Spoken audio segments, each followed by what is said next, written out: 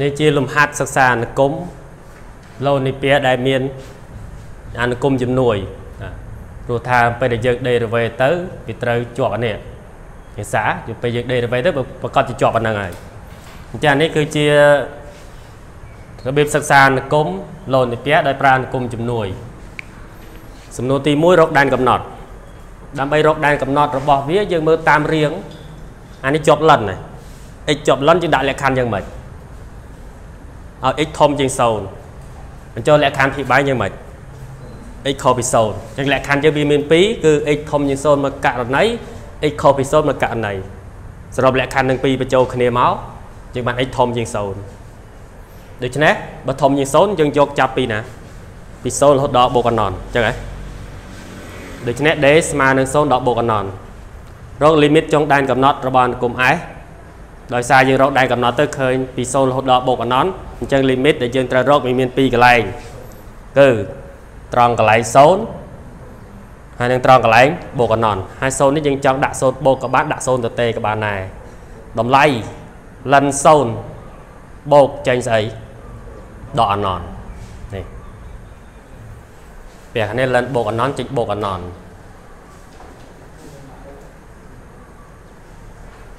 ជំនួសចូល0នេះចេញមក0 ពេលនេះជំនួស0ចូលវាទៅជាលិនដកអណនលិនដកអណនទៅចែកនឹង0 0នេះគឺ0បូកអញ្ចឹងអណនចែកនឹងលេខវាចេញអណនដដែលអញ្ចឹងកៈនេះមកបានដកអណនហើយខាងក្រោមនេះយើងយកបូកអណនមកជំនួសចូលបានបូកអណនពេលនេះមិនលិនលិនបូកអណនបាទលិនបូកអណនលើអណនអានេះចេញអណនអានេះចេញអណនដែរប៉ុន្តែអណនអាពីរហ្នឹងអាណាធំជាងអាក្រោមធំជាងណាលិនហើយនឹង x x ធំជាងលិនអញ្ចឹងបាទធំនៅខាងក្រោមទៅចេញតម្លៃ0នៅពេលដែលយើងរក limit x ខិតទៅចិត្ត0ទៅចេញអីចេញដកអណនតកណា x ខិតទៅចិត្តលេខចេញអណនយើងទាញបានបន្ទាត់ហ្នឹងគឺជា asymptote ឈរអញ្ចឹងណាសំណួរទី2គឺបង្ហាញថា x ការ៉េដកលិន x ធំជាង0គ្រប់ x ជារបស់អគ្រប់ x ធំជាង0 អញ្ចឹងយើងត្រូវតាង zen x ស្មើនឹងប៉ុណ្្នឹងសិនបាទយើងត្រូវសិក្សាអធិរភាពវាសិនណាយើងតាង z ស្មើប៉ុណ្ណេះយើងទីរក z' z' derivative វាមក derivative x ការ៉េបានបានពី x ហ៎ derivative ln បាន 1x អញ្ចឹងយើងតម្រូវពីបាយរួមតម្រូវមកបានអានេះវាទៅជា 2x ការ៉េដក1លើ x អញ្ចឹងដោយសារអភិបាយនេះវាធំជាង0ដែរអភិបាយធំជាង0នេះនេះ យើងបាយបញ្ជាក់ទៀតក៏បានដែរព្រោះក្នុងក្នុងនេះដាក់ធំជាង0ហើយអញ្ចឹងសញ្ញាដែលយើងយកមកប្រើគឺភាយកយើងឲ្យវាស្មើ0ឲ្យវាស្មើ0យើងទីបាន x ការ៉េបោះដក1ឆ្លងបានបូក1បោះ2ឆ្លងចែកនឹង2ទាញរក x ស្មើអីមិនចឹងទៅលុបការ៉េតែកាលណាលុបការ៉េត្រូវពាក់រឹសហើយពាក់ឬវាត្រូវចេញចម្លើយ2ប៉ុន្តែមិនបានដាក់1ដោយសារនេះចេះ ដោយសារ x នឹងវាធំជាង0អញ្ចឹងយើងដាក់ចម្លើយតែ1ទេ1លើរឹសរឹស1លើ2បញ្ចេញមកបាន1លើរឹស2ប្របាត់រ៉ាឌីកាល់ទៅចេញរឹស2លើ2ពេលដែលយើងបាន x ស្មើនឹងរឹសការ៉េ1លើ2ហើយយើងយកវាទៅជំនួសចុះនៅអនុគម z ដែលយើងតាំងខាងនេះនេះយើងតាំងមិញគឺអនុគម z ស្មើនឹង x ការ៉េដកលិនយើងបានមួយរឹស1លើ2លើការ៉េដកលិន រឹស1លើ2អានេះលើការ៉េដាច់រ៉ាឌីកាល់បាត់សម1លើ2ចុះតណាអានេះយើងប្រើតាមរូបមន្ត1លើ a ស្វ័យគុណ n ស្មើនឹង a ស្វ័យគុណដក n បន្តមកទៀតដល់តំណេះយើងប្រើតាមរូបមន្តនេះឬទី n នៃ a ស្វ័យគុណ m ស្មើនឹង a ស្វ័យគុណ m លើ n អញ្ចឹងបាន2ស្វ័យគុណដក1លើ2បន្តមកទៀតយើងប្រើរូបមន្តលិនគឺលិន a ស្វ័យគុណ n ស្មើនឹង n លិន a បាទអញ្ចឹងយើងយើងតម្លាក់អាដក1លើ2ទៅមុខទៅបានដក1លើ2លិន2ចំណុះតម្លៃលេខចូល1លើ2 0.5នេះដកកណ្ដកបានបូក1លើ2 0.5លិន2 0.7 0.5នេះយើងគណនាទៅឃើញ0.85អញ្ចឹងយើងបានតារាអធិភាពដូចខាងនេះដែលមកវាយកចាប់ពី0ដល់បូកអណនតម្លៃ x ជារកឃើញនេះអាកន្លែងមិញវាដឺក្រេទីបានដឺក្រេទី2ហី បាទដឺក្រេទី2វាមានរឹស2ប៉ុន្តែអារឹសអវិជ្ជមានយើងអត់យកទេដូច្នេះវាមានតម្រង់ដូចដឺក្រេទី1វិញដោយសារយើងយករឹសរបស់វាមានតែមួយឬរបស់វាតែមួយអញ្ចឹងយើងយកសញ្ញាដូចដឺក្រេទី1អញ្ចឹងខាងស្ដាំសញ្ញាដូច A ខាងឆ្វេងសញ្ញាផ្ទុយ A អញ្ចឹងខាងនេះដាក់ដកខាងនេះដាក់បូកដកអនុគមចុះបអនុគមកើនអញ្ចឹងតាមតារាទេភាព តម្លៃណាអស់តូចរបស់វាវាចុះពីលើមកដល់ត្រឹម0.85រួចកើនទៅលើវិញអញ្ចឹងបានន័យថាតម្លៃតូចបំផុតរបស់វាហ្នឹងគឺ0.85នោះយើងទិញបាន Zen X ធំជាងឬស្មើវាមិនអាចនៅក្រោមហ្នឹងឯងតម្លៃរបស់វាមិនមែននៅក្រោមហ្នឹងទៀតទេណាណាតម្លៃរបស់វាវាមិនអាចតូចជាងហ្នឹងទៀតទេ គឺចាប់ពីហ្នឹងឡើងមកលើអញ្ចឹងធំជាងឬស្មើ0.85 យើងយក0.85ទៅធៀបលេខ0វាធំជាង0អញ្ចឹងជំនួសអាកសោមសេដែលយើងតាំងមិញសេយើងតាំងប៉ុណ្ណាយើងទីបាន x ការ៉េដក ln x ធំជាង0ចំពោះគ្រប់ x ធំជាង0អញ្ចឹងអាហ្នឹងគេស្រាយមកដើម្បីអីស្រ័យដើម្បីអីស្រ័យវិទ្យានេះចេះអនុគម2តង់វិញអញ្ចឹងអនុគម2តង់វិញអញ្ចឹងបើបើសិនតែយើងយកអា derivative នេះទៅសិក្សាសិក្សាចេញទេអញ្ចឹងបានវាមានបង្ហាញ x ការ៉េដកលិត x ធំជាង0មួយទៀតនេះនេះហ៎ហ៎ទាញថា f' x មានសញ្ញាដូចនេះនិយាយ derivative វាសិន derivative ផលបូកស្មើនឹងផលបូក derivative អញ្ចឹងបាន x' ដល់ពេលអាម្ដុំនេះវាចូលរៀងអុយលើវេអុយព្រីមវេដកវេព្រីមអុយលើវេការ៉េ derivative x បាន1 derivative 1បាន0 derivative ln បាន1ល x តកតតែ derivative x បាន1គុណបញ្ចូលតែអានេះសម្រួលចោលដាច់បាត់ស1អានេះសដក1គុណបញ្ចូលដក1ដក ln លើ x ការ៉េ1ដក1ដាច់ដំរើពីបាញ់រួមមកបាន x ការ៉េដក ln ហ៎បន្ទាប់ពីយើង derivative មកវាចេញអញ្ចឹងហើយអភិបាយយ៉ាងម៉េច x ក្រេ x ក្រេធំជាង0ដូច្នេះអាសញ្ញារបស់វាគឺអាស្រ័យទៅលើភាគយក ដូច្នេះយើងទីបាន s' មានសញ្ញាដូចភាគយកគឺ x ការ៉េដកលិន x សង់តារាងអធិភាពនៃ s តាមសម្រាយ s' មានសញ្ញាដូច x ការ៉េដកលិន x ដោយ x ការ៉េដកលិន x ធំជាង0អញ្ចឹងយើងទាញបាន s' x ក៏ធំជាង0ដែរបើ s' នៃ x ធំជាង0នាំឲ្យ s គឺជាអនុគមកើនចាអនុគមកើន តារាថេរភាពរបស់វាបែបនេះ s' ធំជាង0ដាក់សញ្ញាបូកអញ្ចឹងយើងបានអនុគមនឹងកើនដែលកំណត់យកចាប់ពី0ដល់បូកអណនត្រង់0រងលីមីតទៅឃើញដកអណនត្រង់បូកអណនរកទៅឃើញបូកអណនសំណួរទី3បង្ហាញថាបន្ទាត់ដេអង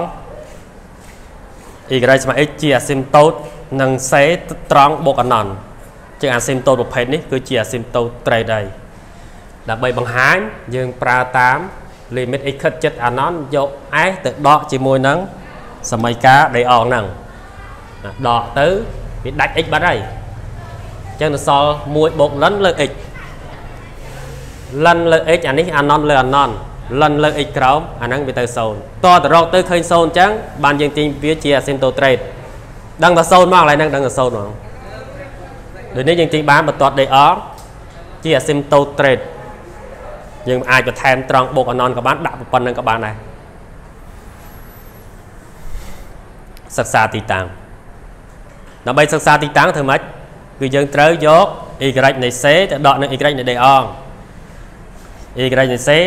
តើដល់អនុគម s y នៃ dr គឺ x នេះដករួចម្ដងហើយនេះយក s x ដក x ម្ដងហើយដាក់នេះយកមកទៅនេះដករួចម្ដងហើយតាដាក់ប៉ុណ្្នឹងទៅលើ x ដោយ ភាគបែក x ធំជាង0អញ្ចឹងសញ្ញារបស់វាគឺអាស្រ័យលើ ln តែចេញ ln មកហើយ ln តតេក៏ដោយ ln បូកលេខក៏ដោយអាហ្នឹងយើងត្រូវសិក្សា3ករណីករណីឲ្យវាស្មើ0ករណីឲ្យវាធំជាង0និងករណីឲ្យវាតូចជាង0បើវាស្មើ0បោះ1ឆ្លងបានដក1បន្ទាប់មកយើងទារក x ចេញអឺរូបមន្ត ln x ស្មើនឹងការនាំឲ្យ x ស្មើនឹងអឺស្វ័យកុនការលុបលិនចេញអឺហើយបើ1បូកលិនធំជាង0ជាងទីរកលិនលិនធំជាងដក1លុបលិនចេញអឺមួយទៀតមួយករណីទៀតគឺករណី1បូកលិនតូចជាង0បោះមួយឆ្លោះបានដក1ទីរក x វាទៅអឺធំជាង0 គឺសញ្ញាបូកតូចជាង0គឺសញ្ញាដកដល់ពេលខាងនេះធំជាងអឺវានៅខាងស្ដាំអឺតូចជាងអឺនៅខាងឆ្វេងអឺដូច្នេះដាក់សញ្ញាបូកនៅខាងស្ដាំដាក់សញ្ញាដកនៅខាងឆ្វេង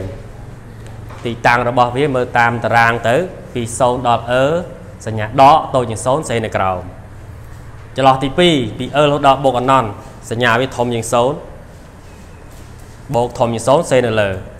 ហើយមួយទៀតបើសិនជា x ស្មើនឹងអឺ នីតិបាន c និង d អងវាកាត់គ្នាត្រង់ចំណុចយក x ជា abscissa យក y ជា ordinate ដើម្បីបាន ordinate y យើងយក x ទៅជំនួសចូលត្រង់ហ្នឹងបានទី4រក coordinate នៃចំណុច A និងបន្ទាត់ D ដឺពាក្យថារក co រកចំណុចគឺរក coordinate នៃចំណុចរកបន្ទាត់ឬរកសមីការបន្ទាត់ D ដឺប៉ះសេត្រង់ A ចឹង A នេះគឺជាចំណុចប៉ះចំណុចប៉ះយើងតាម x0 y0 មកហើយស្របនឹង D អងចឹងបានន័យថា D ដឺនិង D អងវាស្របគ្នាបន្ទាត់ពីរស្របគ្នាប្រើតាមលក្ខខណ្ឌស្រប គឺ a ស្មើនឹង a' នេះមេកុនវាស្មើ1តាមរូបមន្ត a មេកុនប្រាប់ទៅរបបតតប៉ះ s' x0 យក x0 ទៅជំនួសចូលក្នុង s' s' យើង x ការ៉េដកលិន x លើ x x ការ៉េជំនួស x0 ចូលបានប៉ុណ្ណឹងតម្រូវពីបាយមកយើងបានដកលិនស្មើ0ទីរកលិនស្មើ0ទីរក x លុបលិនចេញអឺអឺស្វ័យកូន0ស្មើ1ពេលដែលយើងដឹង x0 ហើយយើងអាចទារក y 0បានដោយសារ x0 នេះគឺជាចំណុចប៉ះអញ្ចឹងដើម្បីបាន ordinate ប៉ះយើងយកវាទៅចំណុចចូលក្នុងក្រាប ចំណុចចូលក្នុងអនុគម s ដើម s នេះ1 1បូក1បូកលិន1លើ1អញ្ចឹងលិន1ស្មើបានបាត់0បាត់សល់1 1 2ដូច្នេះយើងទីបាន coordinate ចំណុចប៉ះ A គឺ1 2បន្ទាប់ពីយើងរកចំណុចប៉ះឃើញយើងអាចទីរកសមីការបន្ទាត់ប៉ះដេដឺបានសមីការបន្ទាត់ប៉ះមានរូបមន្ត y ស្មើ a កតា x ដល់ x0 បូក y 0 a មេគុណប្រាប់ទិសបន្ទាត់ប៉ះមានហើយ a ស្មើ a' ស្មើនឹង1 x0 អាកន្លែងប៉ះយកអាចំណុច a មកញោះ x0 ស្មើ1 y 0ស្មើ2អញ្ចឹងជំនួសចូល a ជំនួសដោយ1 x0 ជំនួសដោយ1 y 0ជំនួសដោយ2នោះយើងទិញបានសមីការបន្ទាត់ d ដឺ y ស្មើ x បូក1ទី5សង់ c d អង d ដឺនេះឲ្យតម្លៃលេខ បើ x 0 y ស្មើ0អញ្ចឹងអត់ឲ្យ0ទៀតទេឲ្យអាផ្សេងពី0 1 1ប៉ុន្តែយើងកុំភ្លេចឲ្យសោះត្រង់កន្លែងចំណុចកាត់គ្នារវាងក្រាបនិងបន្ទាត់ព្រោះថាចំណុចរបស់បន្ទាត់ក៏ជាចំណុចរបស់ក្រាបដែរ D ដឺ y ស្មើ x បូក1 0 1ដក1 0កុំភ្លេចកន្លែងប៉ះពីព្រោះថាកន្លែងប៉ះ វាក៏ជាចំណុចរបស់ក្រាបដែរយ៉ាងបានណាបន្ទាត់0 0ឡើយនេះ1ណា0 0ហើយ1 1ឡើយនេះចឹងយើងភ្ជាប់មកយើងបានជា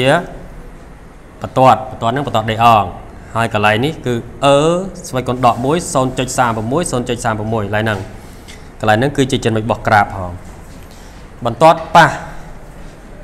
x0 y1 ចំកន្លែងនេះ x ដក1 y0 ចំកន្លែងនេះ